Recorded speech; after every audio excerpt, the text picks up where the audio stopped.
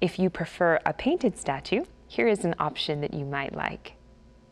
This statue again depicts St. Rita in her Augustinian habit holding a crucifix. It was hand painted in Colombia. It's made of resin mix and measures 8 inches high.